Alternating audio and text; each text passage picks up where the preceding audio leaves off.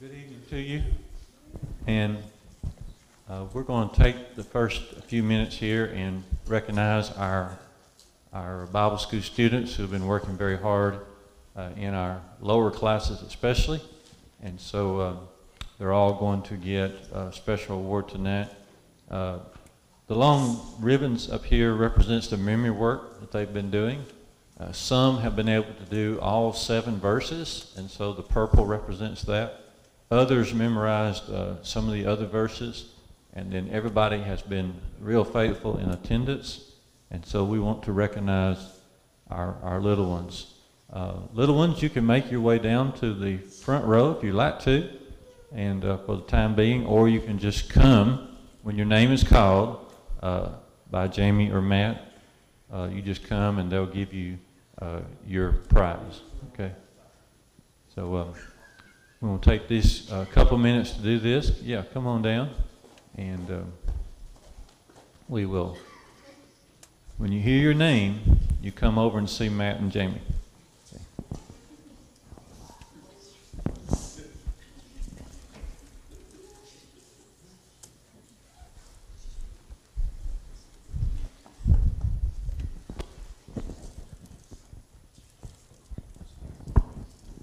Gracie. I'm not sure which Grace. Ray Lynn. Way to go, David. Zane. Liam. Mason.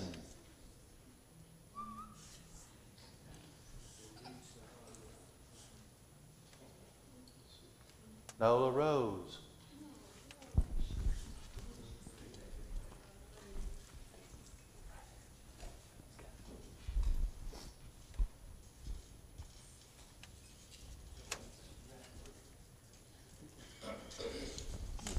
Purple ribbon.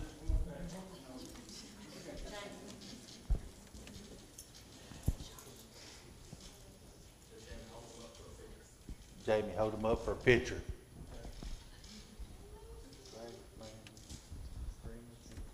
Grinley. Okay. I'll call him next.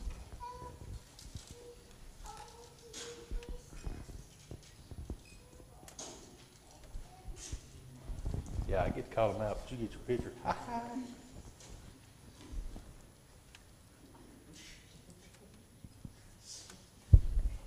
We have Drake, we have Landon, Skylar, Marley, Hudson, Cole,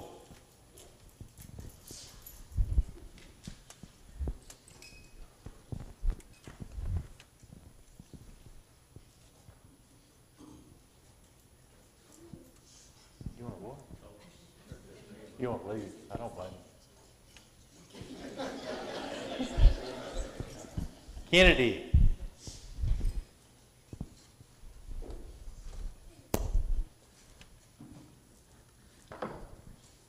And the purple with the metal on the end is that they've done every one of them. Is that correct, David? Yes. Every one of the ver- uh, verses they've memorized. Gabby. Bryce.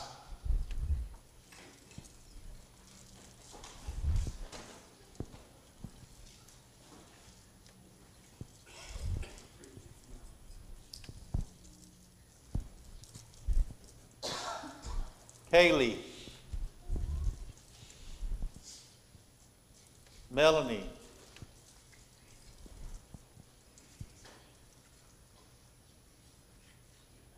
Was it uh, Cameron? Cameron? Ellie.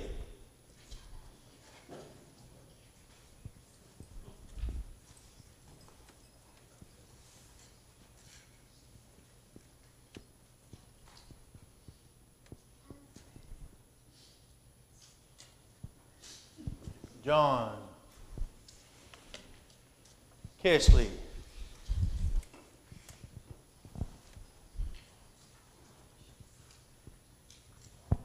maybe with Uncle Grandpa there. No, your Uncle Grandpa, go ahead.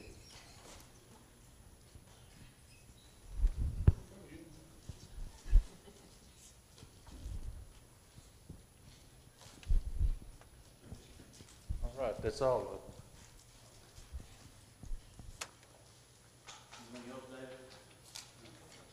That's all. Oh, hey, we got one right here. Come here.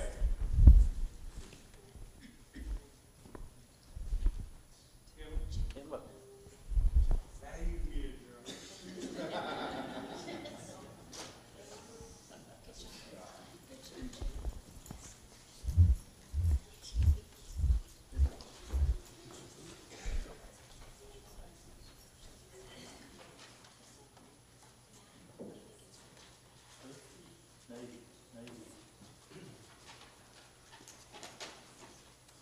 Navy. I'm, I'm dated.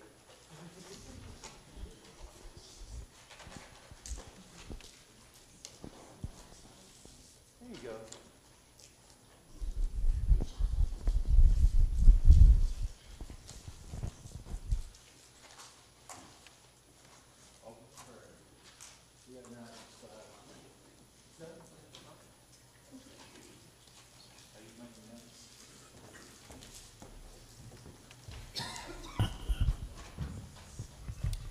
Good evening.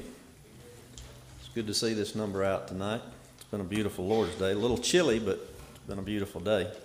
Got a few announcements to go over again. Some of them were gone over this morning. Uh, on the sick list, Eulene Logan will be having surgery on the 22nd. That's this Wednesday. Isabella Seegers is in Huntsville Hospital. We need to keep her and her family in our prayers.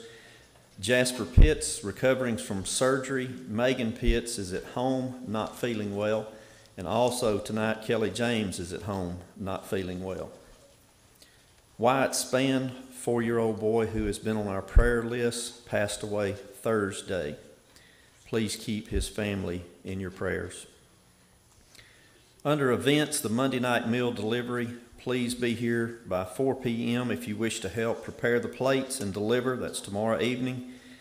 Please be inviting uh, to our upcoming Ladies' Day. That's this coming Saturday, January the 25th. Upsurge is tonight after church. Uh, you're supposed to see Chris or Jamie uh, after church immediately if you're going to be involved in that. The men's class that we have periodically through the year will resume tomorrow night at 6:30 p.m. in the fellowship hall. There'll be a new college class that's going to start on February the 2nd. Uh, if you need a book for that, if you're going to be in that class, please see David for a book. There are a sign-up sheet in the back of the foyer that's been placed there this evening uh, pertaining to the evangelism seminar that we just had this weekend. If any of you that were not able to be here, some possibly that were, if you want CDs of those lessons, uh, the guys are going to be making those, but on the sheet in the back, it's got it divided up into the different particular lessons, uh, and then the separate ones for the men's and women's. And if you'll mark which ones you want copies of, they'll get those made and get those to you. Song leader tonight will be Brother James Rogers, and uh, Marl Fuller will have our opening prayer, and Houston Hutto will have our closing prayer.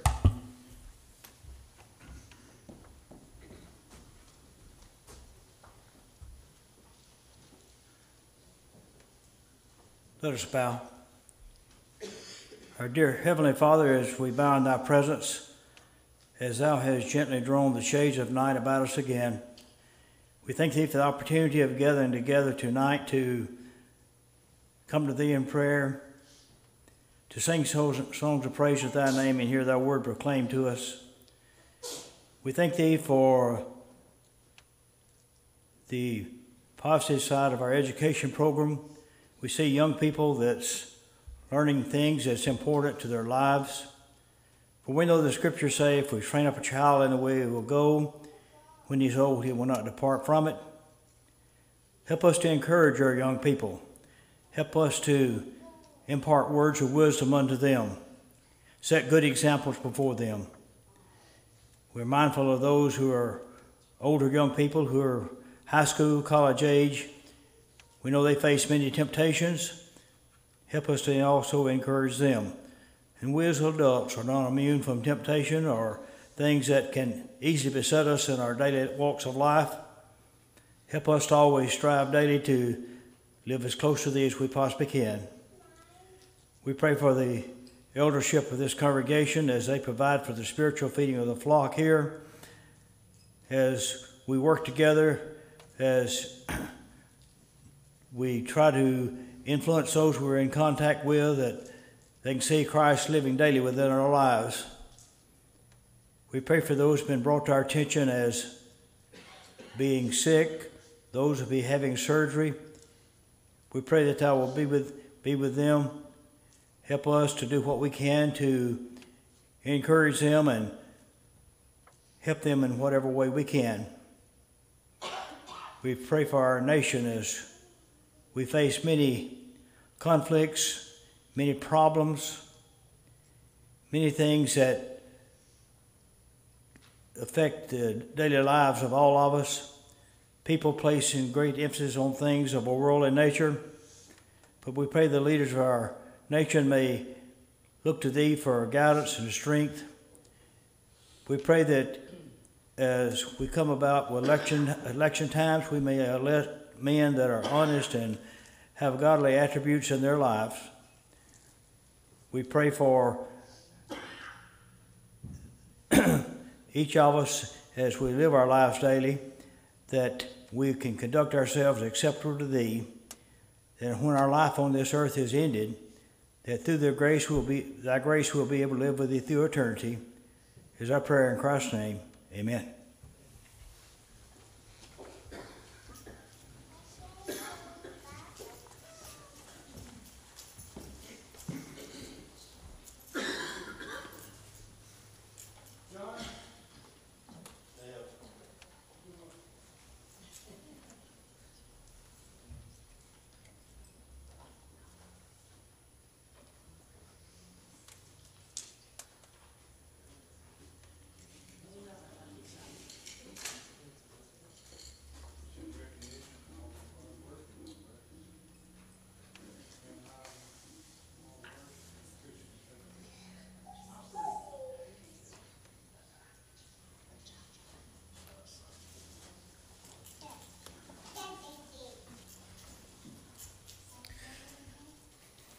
Number 552, Walking Alone at Eve, for our first song this evening.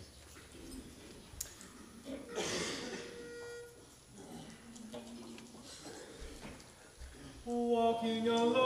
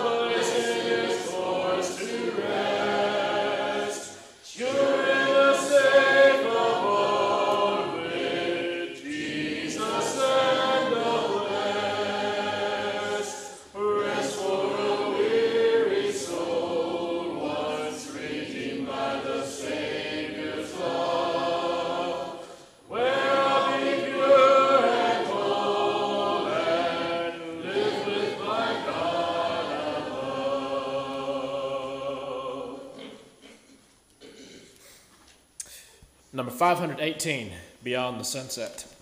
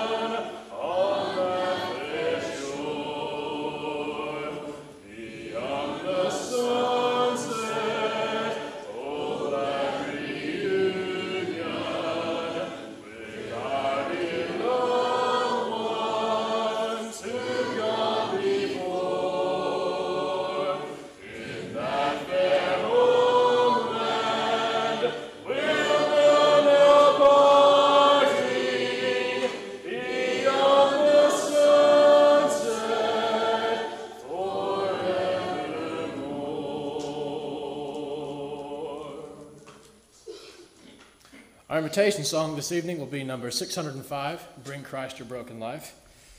And before the lesson, we will sing number 520 An Empty Mansion. Let us stand as we sing.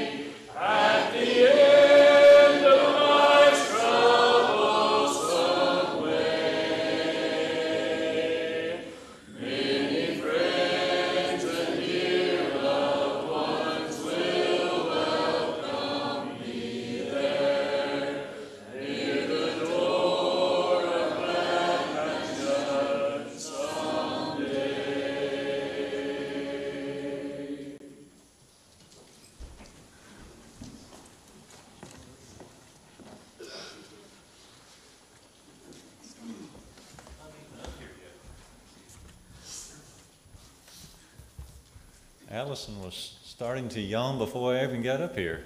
That tells you something. So. Our overriding theme tonight is back to the Bible. Back to the Bible. It's so appropriate that we're able to mention the work of our, our Bible school program uh, this evening. We need to be talking about it more, and uh, we are going to talk about it more. Uh, what is represented on this table, even though all the little ones couldn't be here uh, tonight, it is a, uh, it's a representation of a lot of hard work. And that comes from our teachers, our teacher helpers, those who spend time in, in the classroom uh, fixing up the different visual aids. Um, our teachers will um, be working on their lessons. They never, you never stop working on your lessons. It's always on your mind, and you keep trying to think of the very best way to get uh, that particular biblical, that particular Bible account, uh, that particular Bible person. Uh, how can I get this across? I've got the little ones this week. I've got the, the older ones this week. How do we get that across? And this represents just quite a bit of, of work and, and effort, uh, both from our teachers and our uh, students. And we just, um, we just want to say thank you. And this time, as we are switching now to the New Testament times, uh, we just thought this would be a good time to recognize what they're doing. We pray for our, our efforts in Bible study that it will, it will uh, inspire our parents and uh, grandparents to study and read the Bible uh, not only here but at home, especially at home, especially when you're not here. And that's where the real training uh, occurs. So back to uh, the Bible. We'll be looking in Acts again uh, this evening, Acts chapter 9. The passage we were at this morning with Ananias, Acts chapter 9 and verses uh, 10 through 19. Also, adding to that this evening, Acts 22, verses 12 through uh, 16. Acts 22, verses 12 to 16. We're still on the occasion when Ananias comes to Saul of Tarsus. It's a huge event and tells him what God would have him uh, to know. Back to the Bible. Allow this incident in Scripture to help us keep going back uh, to the Bible. It's really the theme that we were focusing on back in the summer, last summer, when we did our VBS and we called it Back to the Future. It's really a back to the Bible ideal because the only way to really uh, think about life now and toward the future is to go back to that time, back to the Bible, uh, and allow the Lord to, to direct our lives. In John 16 uh, 13, Jesus promised the apostles, When I send the Holy Spirit upon you, He will guide you into all the truth, A L L, all the truth. And that's exactly what happened. And the apostles over time preached the good news in its fullness. And over time, God guided them and a few others to sit down and write the New Testament scriptures. And we can be fully assured that what we are reading in the New Testament, New Testament is exactly what God would have us to read. And that is, that is our standard, that's our guide. So we go back to the Bible. Looking at these passages this evening from Acts 9 and Acts 22, I want to focus on a few areas where we need to go back to the Bible. In the first place, let us go back to the Bible as far as the gospel message is concerned. I know that sounds very fundamental, but you'll understand why in just a minute. Let us go back to the Bible as far as the gospel message is concerned. We mentioned this morning that God did something very special with Ananias. He came and he spoke to him. He said, Ananias, I want you to go to a particular place. I want you to go to the street called Straight. I want you to go to a particular house, belongs to Judas. I want you to look to it for a particular man named Saul. And this man is blind. He, the Lord appeared to him. The glory of the Lord appeared to him. He can't see a thing. There'll be men surrounding him. I want you to go right there. What does that have to do with the gospel message? Just this God, in those miraculous times, in those early days of the church, He did a lot of direct speaking, but I want you to notice this. He never spoke directly to a person in order to give him instructions about salvation. God, and even in the miraculous times, even in those early days, God never spoke directly to a person in order to give him gospel instructions. He always had the preacher show up, or the teacher, or the messenger show up, a human messenger show up with the gospel message as to what a person must do in order to um, receive salvation. When when the Lord appeared to Saul on the road to Damascus, Saul asked, Lord, what would you have me to do? And he said, well, I want you to go on into the city, into this particular house, and it'll be told you there what you must do.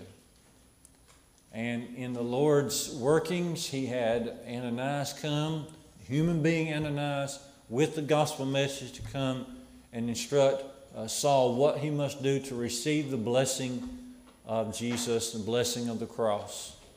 Always remember this that God did a lot of miraculous things in these days, but when it come down to a person receiving salvation and what he needed to know, he always sent a human messenger to make that known. We need to go back to the Bible as far as the gospel message uh, is concerned. Same thing happened with the eunuch when Philip led the eunuch to a knowledge of salvation beginning in Isaiah 53. Well, the eunuch didn't know, over in Acts 8.26 we read, that an angel of the Lord came and told Philip to go in that direction. The eunuch had been uh, to Jerusalem to worship and was returning home, and the angel tells um, Philip to go and intersect this, and then he goes in that direction. And then you read in Acts 8 and 29 that the Spirit, then, God the Spirit, comes near to Philip and says, You see that chariot? Go join that chariot. And he ran to join that chariot. But when it came time to, to instruct the eunuch upon what he must know and what he must do to receive salvation, God backed off. Okay. I think that is something that is occurring there. That's something that um, we read and it jumps off the page to us for us to understand the importance of teaching the gospel. So let us go back to the Bible in by way of the gospel message. In the second place, we need to go back to the Bible and stay there. We need to go back to the Bible as far as uh, a sure foundation is concerned. A sure foundation.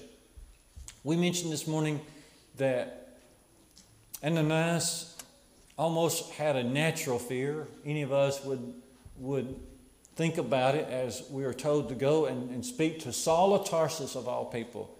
We read there in Acts 9 uh, 13 and 14. But um, Ananias expressed, his fear to God there, but in Acts 9 15, he says, Go your way. Uh, so this is a double sending here. In Acts 9, uh, verse uh, 11 and 12, he had told Ananias, You go to this house where he's at. I want you to go there. So that's his first sending. But then, after Ananias sort of has a little battle with God, then um, God said again, You go. You go. Okay. And then uh, he goes, and but here's what the Lord said to Ananias in Acts 9:15. He says he's a chosen vessel. He's a chosen vessel. Vessel means that Paul would carry the name of Christ everywhere. That's what we're to do. Vessel means that you're carrying the message. We mentioned this morning in 2 Corinthians 4 and verse 7 how the gospel has been placed in earthen vessels. That's us, earthen vessels. Those of us who've been made out of dust. Okay. Uh, God placed, He placed this treasure in earthen vessels. It's a treasure. It's a treasure. There, there's no greater value than salvation of the soul. Jesus says in Matthew uh, 16, verse uh, 26, What shall it profit if he profit a man if he shall gain the whole world and lose his own soul? There's just nothing more valuable than this gospel message, and it's contained in an earthen vessel. So vessel means, on the one hand, it means carrying something. It's a, it's a device that carries something, and we are that, that device that carries the gospel. But for Paul here, for Paul, it also meant that Paul would not be coming up with his own message. Paul's not the source of the message. Paul is simply going to be carrying the message. Okay. Remember this statement. Our faith is based not on speculation, but revelation. Our faith is based not on speculation, and take your Bibles with, but it's based on revelation. See, Paul is Paul has been part of God revealing directly the gospel message to him. Okay, let's read what Paul says about this. Galatians chapter 1. Turn with me in your Bibles. Galatians chapter 1 and see it for yourself what Paul says. Galatians 1, beginning in verse 11. He says, I would have you to know, brethren, Galatians 1, verse 11, I would have you to know, brethren, that the gospel that was preached by me is not from man. It's not man's gospel. For I did not receive it from any man, nor was I taught it, but I received it through a revelation of Jesus Christ. For the apostles in these early days, the gospel was revealed to them directly from the Lord. They, they did not learn it, it did not come from a man. Look on down with your eyes in Galatians 1:15. Paul says, beginning in Galatians 1:15, but when he who had set me apart before even I was born, he who called me by his grace, when it when he was pleased to reveal his son to me in order that I might preach him among the Gentiles, I did not immediately consult with anyone else. In other words, God revealed the gospel message to Paul, okay, and he didn't go and check out, check what he had received with other men. He simply received it from the Lord himself. I didn't go and consult with anyone else, nor did I go up to Jerusalem to those who were apostles before me. Okay. Paul's just expressing this idea that he, along with the other apostles, received the message of the cross in a direct way. It was revealed to them revealed to them. And so our faith is not based on some man uh, figuring out some sort of system that will help people feel better. No, our faith is based on something that has been revealed from heaven to these special men, these honest men, these, these men who gave their lives uh, for the truth. Okay. Now, go back with me to Acts chapter uh, 22 for just a moment. Turn over to Acts 22 as we're thinking about this idea of going back to the Bible for a sure foundation, going back to the Bible for, for, for a sure foundation. Notice what Ananias is going to say to Saul, Acts 22, in verse, uh, beginning in verse 13. He's going to say, Brother Saul, receive your sight. And at that very hour, Paul said, I received my sight and saw him. And he said, The God of our fathers appointed you to know his will. Notice this to see the righteous one and to hear a voice from his mouth. Okay? That's a promise to Paul specifically. And Ananias is saying, The Lord has appointed you to, to see Jesus the righteous one, and to hear a voice from his mouth. For you will be a witness for him to everyone of what you have both seen and heard. You might remember that the apostles, Peter and John, said this very thing to the Jewish officials who had uh, brought them in. Acts 4, verse 20 they had charged them not to teach anymore in Jesus' name. And they said, We cannot but speak the things which we have both seen and heard. Paul here is is being given the opportunity, the special opportunity reserved just for the apostles in these days in order to bring the gospel message in ultimately to print, to, to, uh, to form the New Testament.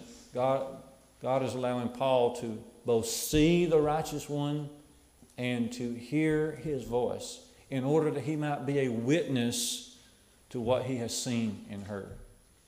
Think about that word witness for a minute. Acts 1, verse 8, Jesus said to his apostles just before he ascended up on high, He says, You shall be my witnesses, my witnesses, beginning here in Jerusalem, and then to Judea, and then to Samaria, and then to the uttermost parts of the earth.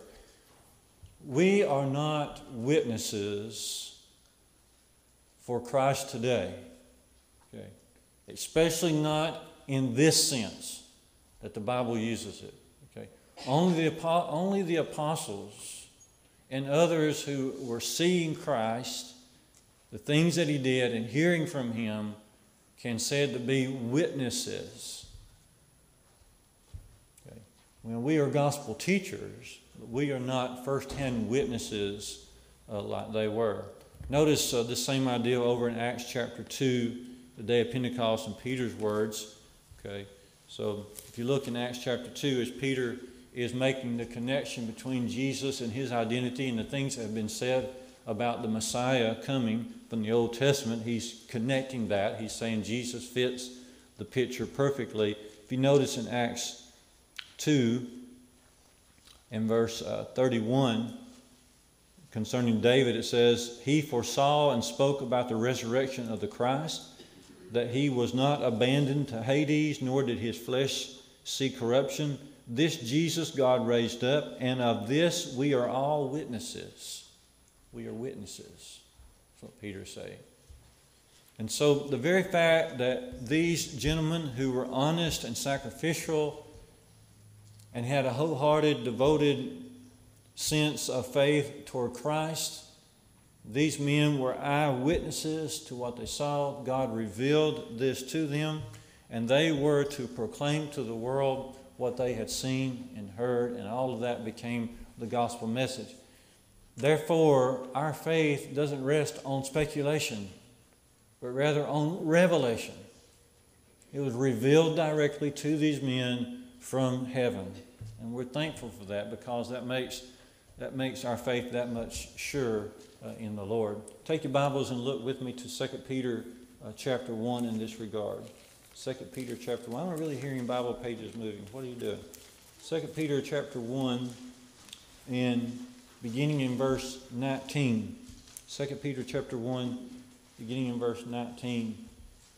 Peter says, We have something more sure, the prophetic word, to which you would do well to pay attention as to a lamp shining in a dark place until the day dawns and the morning star rises in your hearts, knowing this first of all, that no prophecy of Scripture comes from someone's own interpretation. For no prophecy was ever produced by the will of man, but men spoke from God as they were carried along by the Holy Spirit. That's revelation. That's revelation. It, God directly revealed it to them they were witnesses of these things, and so that makes our foundation even more sure. It makes it very sure in Christ. So let's go back to the Bible in gospel message. Let's go back to the Bible in having a sure foundation. In the third place, let's go back to the Bible for authority. Authority. If you look there in Ananias' words to to um, Paul. And then before that, uh, if you look at God's words to Ananias there in Acts chapter 9, he tells Ananias, Paul is a chosen vessel, and he's going to bear my name. He's going to carry my name to a lot of people, to, to the Gentiles. He's going to stand before kings like Felix and Agrippa that we read about. And he is going to carry my name even before the children of Israel. Paul's going to go into these synagogues and, and talk to his own fleshly brethren. But notice it says he's going to carry my name. My name. When you read about the name of Christ, most of the time, you're reading about the authority of Christ. For example, if you look over to Colossians chapter 3, 16 and 17, let the word of Christ dwell in you richly, teaching and admonishing one another in psalms, hymns, and spiritual songs, singing with grace in your hearts to the Lord. And whatever you do, notice this, Colossians 3, 17, and whatever you do, in word or deed, do all in the name of our Lord. Do all in His name. Brother Rob mentioned this particular passage in Acts chapter 8 yesterday. If you want to look at it again, Acts chapter 8 and verse 12, Philip is in Samaria. What did he talk about? He talked about the good news of our Lord. And many were baptized, but notice particularly uh, what he spoke about. In Acts 8 and verse 12, it says, But when they believed Philip as he preached the gospel about the kingdom of God and the name of Jesus Christ, they were baptized, both men and women. Notice that. They preached about the name of Jesus, they preached about the kingdom of God, and they also preached and they were baptized into Christ. I'm going to do a little advertisement here. As we think about going back to the Bible, going back to the authority of Jesus, it was the suggestion of Brother Whitaker over the weekend that we use these lessons, lesson one, lesson two, lesson three, to help bring someone to Christ. And these are simple little booklets that can help us do that. Why do I mention that now? Well, lesson one is on the authority of Jesus Christ. And it ends by making the point from Scripture, of course, that there is a difference between the old law of Moses and the new law of Christ, and how that we're under the new law of Christ today. So the authority of Jesus is talked about here. Lesson two talks about the church, the church and the importance of the church, the church and the um, and the importance of, of salvation in the church, the church in regard to its organization, the church in regard to its mission, and how that we're added to the church once we are have been uh, washed, uh, our sins have been washed away. So this book two is on the church. And then book three talks about sin and the tragedy of sin and how to uh, deal with sin through the blood of Jesus and gospel obedience and the plan of salvation. So these are simple little booklets. They just have the scripture reference. You read the scripture uh, reference uh, together and then you answer, uh, you, you fill in the blank that is beside the scripture. Very simple. Well, Rob's suggestion was that we as a congregation go through these he made this suggestion. Uh, I think he made it publicly, but then he also talked with our elders about it. Our elders agreed. And so, starting next Sunday night, we will go through book one. And it'll take us at least a couple of weeks, if not more, to go through each book. It's going to be a different sort of lesson. It'll just be, we'll just be reading the scripture and then filling in the blank. Reading the scripture, filling in the blank, as a means to get, number one, to get acquainted with these basic, basic references and basic ideas, but also to learn to how to sit down with someone that you can use this method to lead someone to Christ. You don't have to be you don't have to be able to get up and, and quote a bunch of scriptures. The scriptures right here in, in these booklets for us. We read them together, and then we fill in the blank. And uh, it's, it's very simple, but very, very effective. And so we will work on these on Sunday nights, beginning next Sunday night. We'll have a PowerPoint that goes along with this, but it, it won't be our normal preaching service. We'll be, um, each, each of our members will have these booklets. You'll be next Sunday night. Good Lord willing, you'll have this booklet in your lap. and you will fill in the blank as we read the scripture together and as, um, as we mention the answer needs to be in the blank. Okay, but we're very little uh, comment, very little comment. Aaron doesn't think I can do that. See, Okay. Aaron talks so much, you just have to say something about it. But, you know, he doesn't think that I can get up here and not make a lot of comments. Well, I'm just going to show him. Because that's not the way to do it. You know, when I have, I have used these over the last um, six months, especially with, with different ones, and you don't make a lot of comment. You let, you let the scripture do the talking. Very little comment, and you might say something about you know who's doing the speaking as we're about to read this verse and who's receiving the message. But other than that, we just let the Bible uh, talk to us. So we'll begin that, uh, good Lord willing, next Sunday evening. Uh, so we want to learn.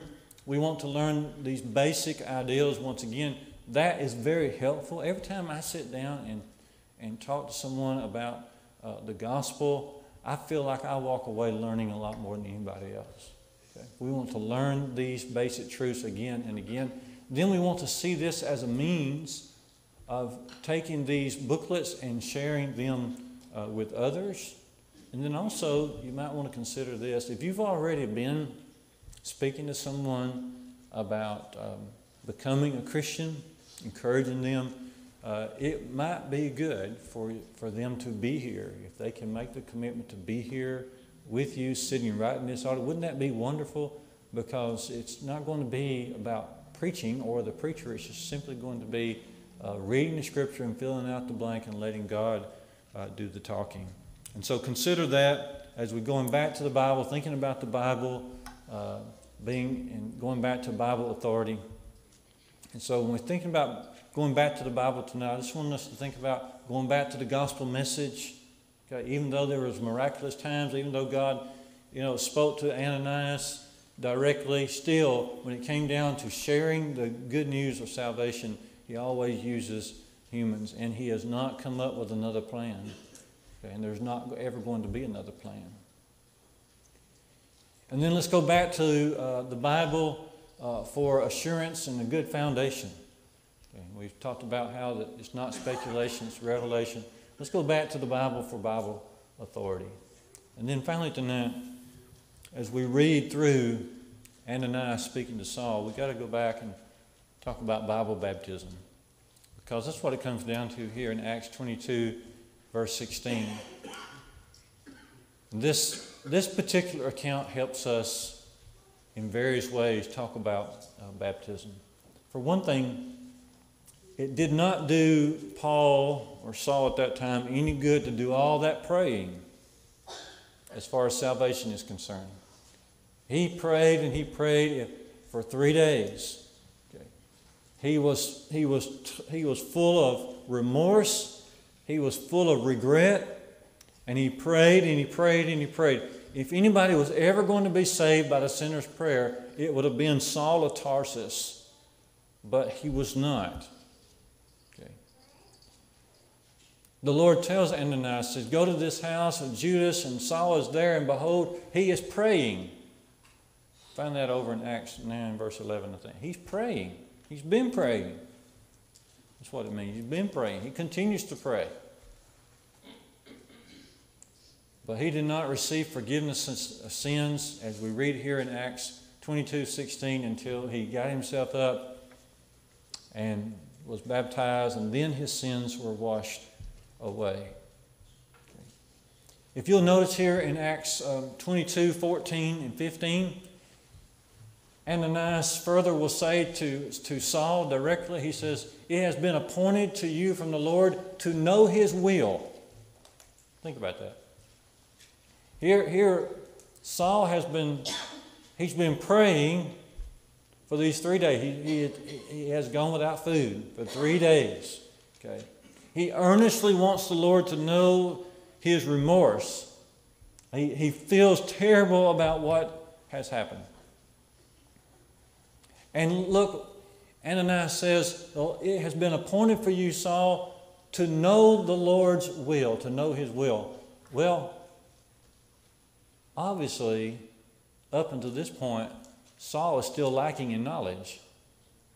If Ananias is coming now after three days of this praying, and he says, It's been appointed to you, Saul, to know his will. That means, as of yet, Paul, Saul, lacks some knowledge. He's lacking in some serious knowledge.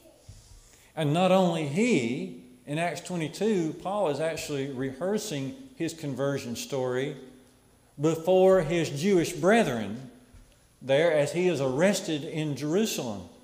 So not only up to this point had he lacked in, in spiritual knowledge, but he's letting them know that they're lacking in spiritual knowledge if they keep serving under the old law. And so we learn here about baptism it's baptism first, and then we're added to the family of God, and then we can pray. Notice what did Paul do in verse 17 of Acts 22? Notice what he's doing in verse 17 of Acts 22. He goes to the temple and he prays, and there the Lord hears him, and there the Lord responds to his prayer. It's baptism first and then prayer, not the, not the reverse. Salvation doesn't come as a result of a sinner's prayer. If one is still outside of Christ, never been baptized into Christ for remission of sins, and then the sinner's prayer, that just that doesn't avail. That doesn't work. Okay. This is plain scripture looking at us. And we need to desperately, the world needs to hear this, and we need to share it uh, with them. Another thing about baptism is to see, once again, its priority. We mentioned this this morning from Acts uh, 9, 18, and 19. He, he went ahead and was baptized even before he received food, and he had been without food.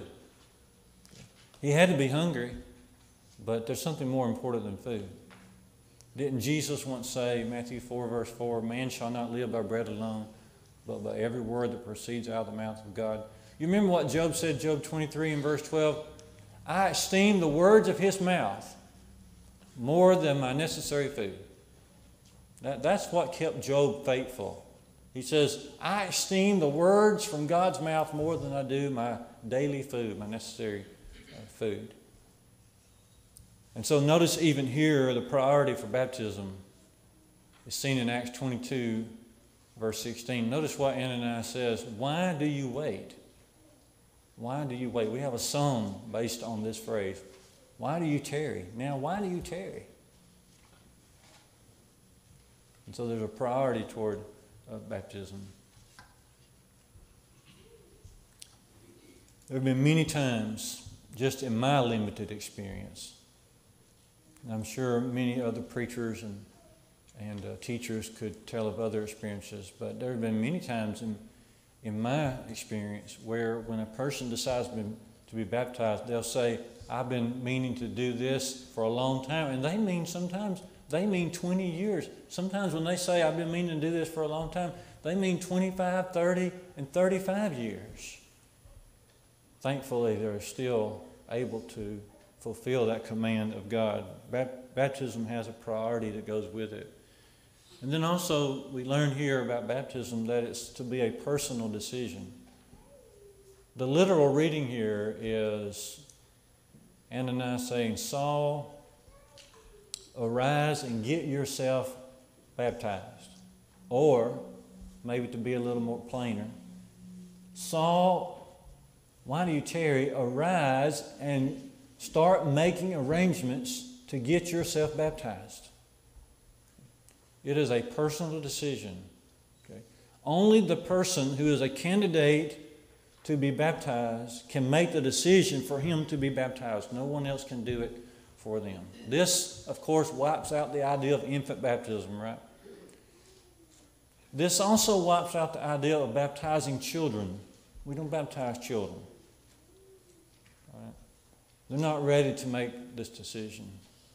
This also wipes out the idea that no one should be baptized in order to simply make unity in their marriage. That has happened a number of times where a wife or a husband, whichever, will decide, okay, I'll go ahead and be baptized.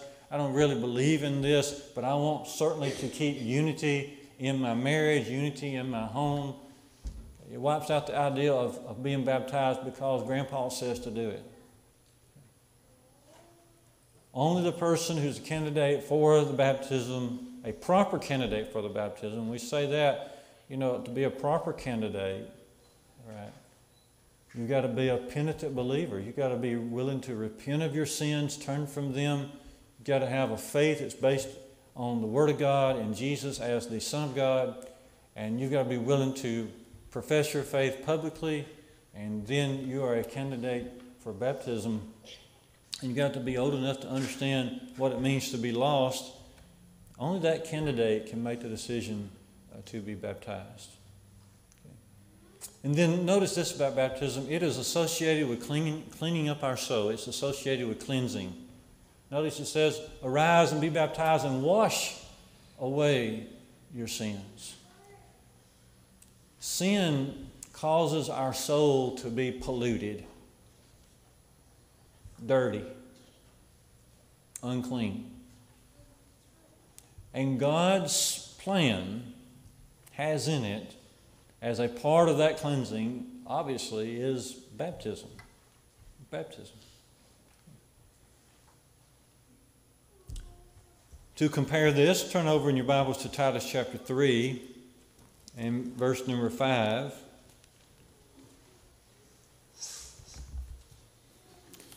Paul saying there, We are saved not by works of righteousness which we have done ourselves, but according to his mercy, he saved us with the washing of regeneration and the renewing of the Holy Spirit.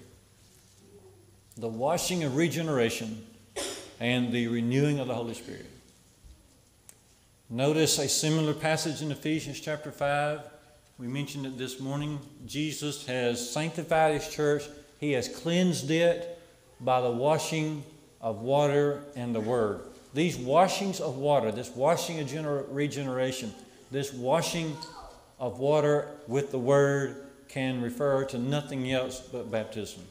What else would it refer to? It can't, because of your numerous texts, numerous passages regarding baptism's association with salvation, it has to receive, it has to mention, it has to include uh, baptism. Remember, Jesus to Nicodemus said, Except you be born of water and the Spirit, you can't enter the kingdom of God. So the soul is polluted, and baptism has a great association with the cleansing of the soul. And then notice this about baptism there, there's nothing magical about the waters. There's nothing magical about the waters. But what baptism does from God's mind, okay, not man's teaching, but from God's mind, baptism allows a person to access the blessings of the cross. For an example of this, if you notice in Hebrews chapter 9, 13, and 14, that it is the blood of Jesus that will cleanse our conscience. But notice also from the mouth of the apostle Peter, 1 Peter 3:21, the light figure whereunto even baptism doth also now save us, not the putting away of the filth of the flesh, but the answer of a good conscience toward God. The blood of Jesus brings a pure, good conscience, but baptism is also part of bringing that good conscience. And so, therefore, you have to conclude that baptism is that access to um, the blood of Christ. In Matthew chapter 26, as Jesus talked about the Lord's Supper, he said, This is the blood of the new covenant which is shed for many for the remission of sins. And Peter himself again is led by God to say in Acts 2 and 38, Repent ye and be baptized, every one of you, in the name of Jesus Christ for the remission of sins, and you shall receive the gift of the Holy Spirit. Back to the Bible. There's no better journey, there's no more important message than this which is emphasized. And we hope and pray, and if you will, will you please pray that as we do these booklets next Sunday night, that much good will come from it, that we will build our confidence in sharing the simple gospel of Jesus Christ, that we will be renewed in our zeal for the Lord, and that many others will come to know Jesus as their Savior. Will you be praying about that? We're going to go back to the Bible by way of gospel message, go back to the Bible for a sure foundation. We want to go back to the Bible for Bible authority, authority of Jesus. We want to go back to the Bible baptism. And we want to make our stand there. Appreciate you being part of this service this evening. And it may be that as we have gone through these various scriptures, it might just very well be that you have already decided in your heart to renew your zeal for the Lord. It may be that you have, you have found that, that in your past life that you don't feel like you have, you have contributed to the cause for the Lord as you ought. You might feel even that this has brought some shame on the church. If you'd like to come forward and pray about that, and that's the promise to Christians. You know, after baptism, we just we pray.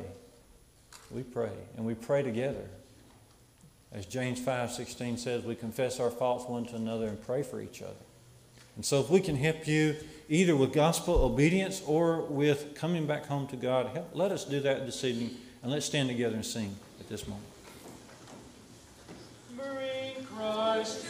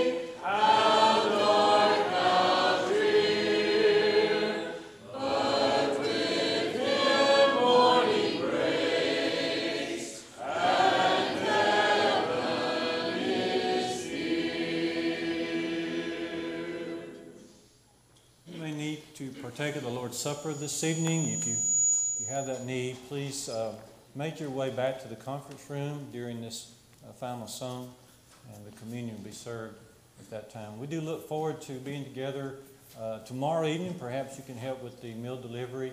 Also, uh, if you can come out for men's class about 6:30, that would be great as well. We do have. Let me look and see. Sister Beth. The meat's still on, right? Meat, meat thing, good? Yes? Okay. So, Bethany told me earlier that, that we have a bunch of barbecue meat in the, is it already warmed up? It is, okay. So, uh, In the fellowship hall. it's in the fellowship hall For anybody who wants for anybody who wants to come. Okay. So that's tonight, right after our uh, dismissal. So we had a lot of barbecue meat and some desserts left over from yesterday. So feel free after our dismissal, if you're hungry, make your way back uh, to the fellowship hall, and that, that can be, um, you can take advantage of that. Okay. So thank you. Thank you for your help,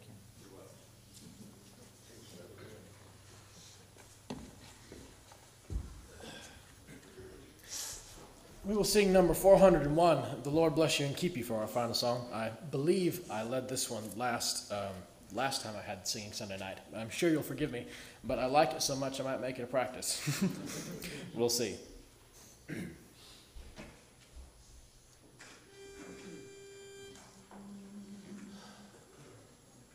The